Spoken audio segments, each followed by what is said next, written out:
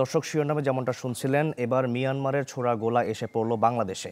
এই ঘটনায় হতাহতের কোনো খবর পাওয়া এখনও যায়নি। সকালে এই ঘটনা ঘটে। এদিকে সোমবার মিয়ানমারের মর্টার সেলের আঘাতে দুজনের মৃত্যুতে ক্ষুব্ধ বাংলাদেশ।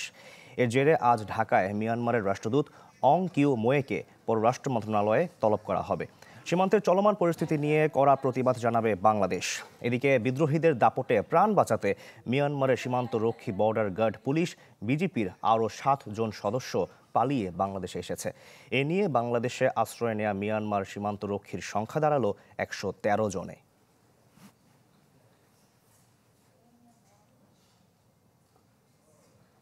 এক মিনিটে নগদ ইসলামিক অ্যাকাউন্ট খুলতে ডায়াল করুন, চার, ওয়ান, সিক্স, সেভেন, হ্যাশ। দর্শক, সীমান্ত পরিস্থিতি আরও খবর জানাতে ঘুমধুম থেকে আমাদের সঙ্গে যুক্ত হচ্ছেন আমাদের সহকর্মী আজিম নিহাদ।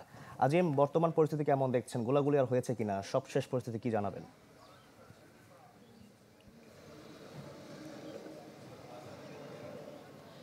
শাকিল, এখন থেকে প্রায় বিশ মিনিট আগে ঘুমদুম উচ্চ বিদ্যালয়ের পেছনে একটি অ্যান্টি ট্যাঙ্ক গ্রেনেড এসে পড়ে। সেই গ্রেনেড যদিও সেখানে স্থানীয় মানুষের প্রসূতি এবং মানুষ উপস্থিত না থাকার কারণে সেখানে হতাহতর ঘটনা ঘটেনি। কিন্তু সেই গ্রেনেডটি ইতিমধ্যে উদ্ধার করে বিজিবি নিয়ে গেছে এবং এর ফলে কিন্তু ঘুমদুম উচ্চ বিদ্যালয়ের আশপাশে নতুন করে আতঙ্ক সৃষ্টি হয়েছে। আপনি যেমনটি বলছেন যে গতকাল মর্টার শেলের আঘাতে দুজন নিহতের পর স্থানীয় মানুষ কিন্তু ক্ষুব্ধ হয়ে গেছেন। তারা বলছেন যে তাদের নিরাপত্তার জন্য স্থানীয় প্রশাসন এবং বিজিবি বা বাংলাদেশ সরকারের পক্ষ থেকে কিছুই করা হচ্ছে না, ফলে তারা একের পর এক মৃত্যুর মুখে চলে যাচ্ছেন। এবং আমরা কিছুক্ষণ আগে শুনতে পেয়েছি, উকিয়ার থাইংকালি যে রহমতির বিল রয়েছে, সেই রহমতির বিল সীমান্ত এলাকায় ইতিমধ্যে বেশ কিছু সীমান্তরক্ষী, মিয়ানমারের সীমান্তরক্ষী বাহিনী তারা অনুপ্রবেশের চেষ্টা করছে বলে জানতে পেরেছি। কিছুক্ষণের মধ্যে আমরা সেখানে গেলে হয়তো জানতে পারব কতজন সেই সীমান্ত দিয়ে অনুপ্রবেশ করেছে এবং আহ, ঘণ্টা কানেক আগে সীমান্তের হুয়াইকং যে এলাকা রয়েছে টেকনাফের সেই হুয়াইকং এলাকায় নতুন করে আরও দুজন বিজিবি বিজেপি সদস্য তারা আশ্রয়ের জন্য বিজিবির কাছে এসেছে বলে প্রাথমিকভাবে আমরা বিজিবির সূত্রে জানতে পেরেছি।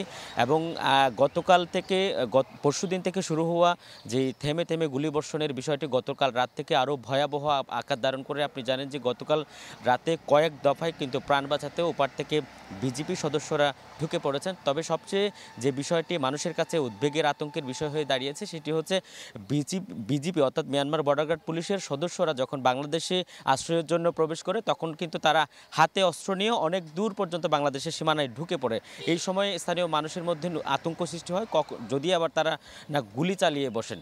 শাকিল, এই ছিল সীমান্তের সর্বশেষ। জি, আজিম, আপনাকে ধন্যবাদ আমাদের সঙ্গে যুক্ত হওয়ার জন্য। দর্শক, সীমান্ত পরিস্থিতির খবর জানাতে ঘুমধুম থেকে সরাসরি যোগ দিয়েছিলেন আমাদের সহকর্মী আজিম নিহাদ।